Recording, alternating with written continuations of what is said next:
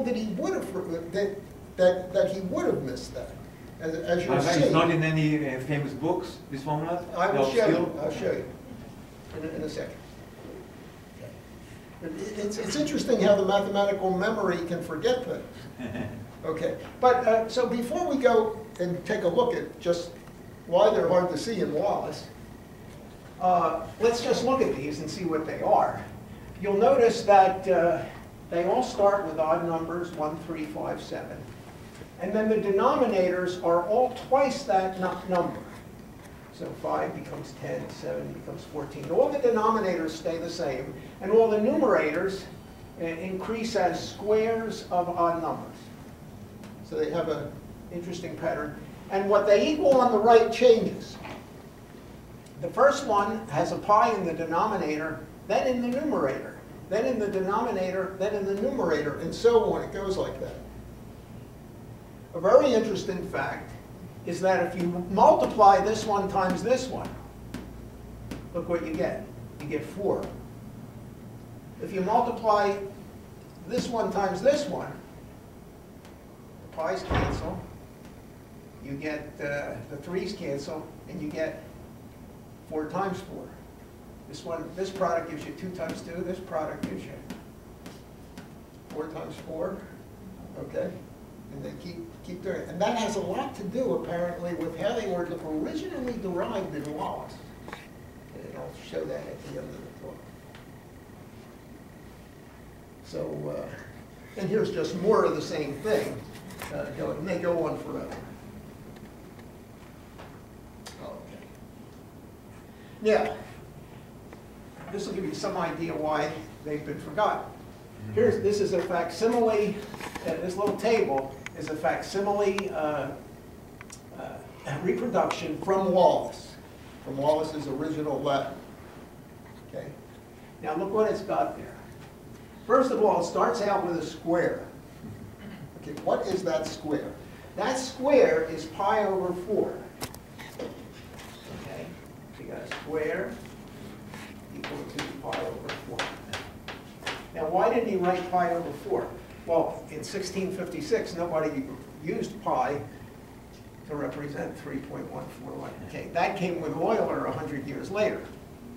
So what Wallis was into, he wanted to square the circle, okay? Get the, find out what the area is under a unit circle, say. So, so that's what he used, and he- that's a quarter of, a a quarter of a, a unit circle. So, so there, so I guess, I, I'm just guessing that's why he used the square. The squaring, so, okay. Now, here are the the continued fractions. Now, it's hard to see it, okay, I'm trying to expand it here, and he's written that as one, one half, nine halves, plus, that's the first one. And here's the second one, three, one sixth, nine sixths, and, and so on. Here, five, one tenth, nine tenths, okay? He's written them in. Now, he's also written them in a few other places in the book, he's not the only place. But, uh, but they're,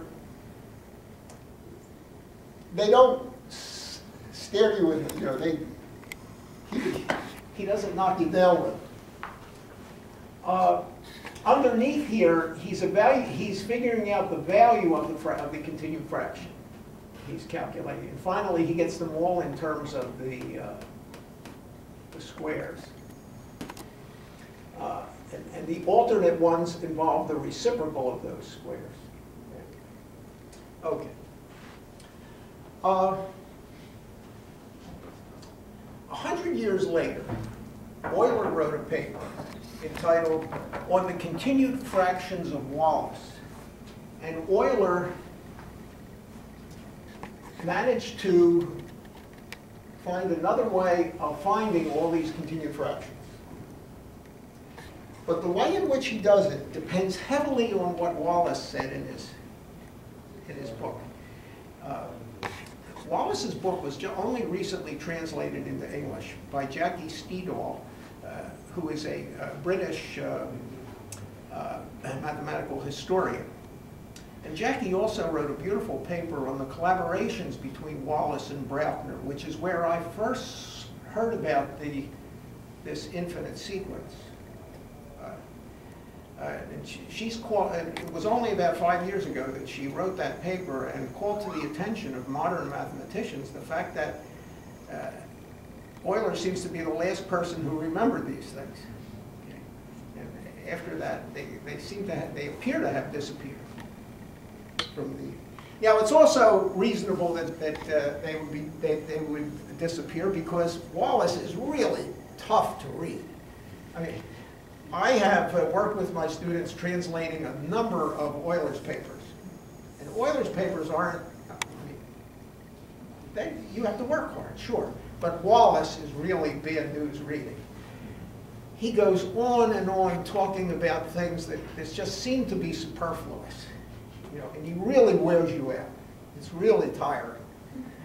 Uh, but at the end of the, the, at, the end of the book, it gets to be brilliant. It, there are fireworks at the end of the book when he goes and derives his infinite product for pi. Okay, so much for that. Okay, and uh, I may at times use this notation, CF, continued fraction, for x, to stand for this, because this is the standard form in which all those continued fractions appear. You have an x, and then you have twice x in the denominator, and then the uh, odd number squared in the numerator. Okay.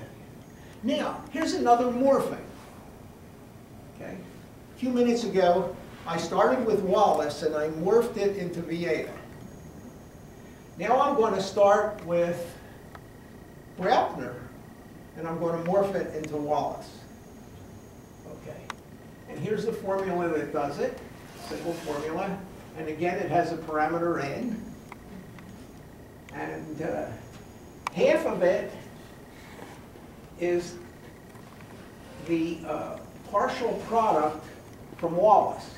The, this is the first factor in Wallis, the second, the third, out, out to the n. So this gives you the partial product from Wallis, not the whole thing.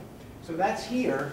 And then you have this continued fraction, which is of the uh, Brouncker type. So you've got a parameter in there, n. So here we go. Here we'll, we'll do the morphing. When n is 0, you have Brouncker's first continued fraction.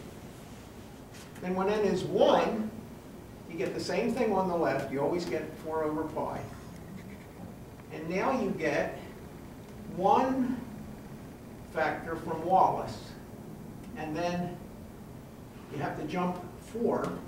These go mod 4. 1 to 5. A, a Wallis continued fraction.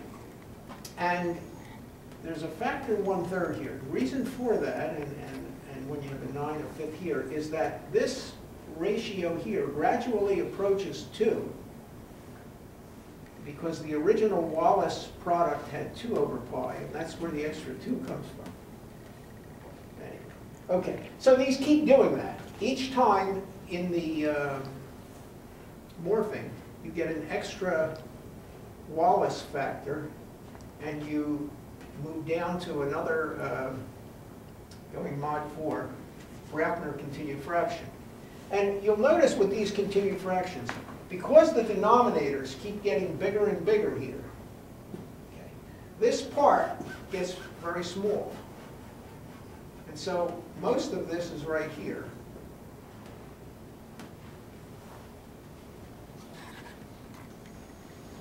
And uh, there's another one uh, down here, and then finally, as n goes to infinity, you get the uh, Wallis product.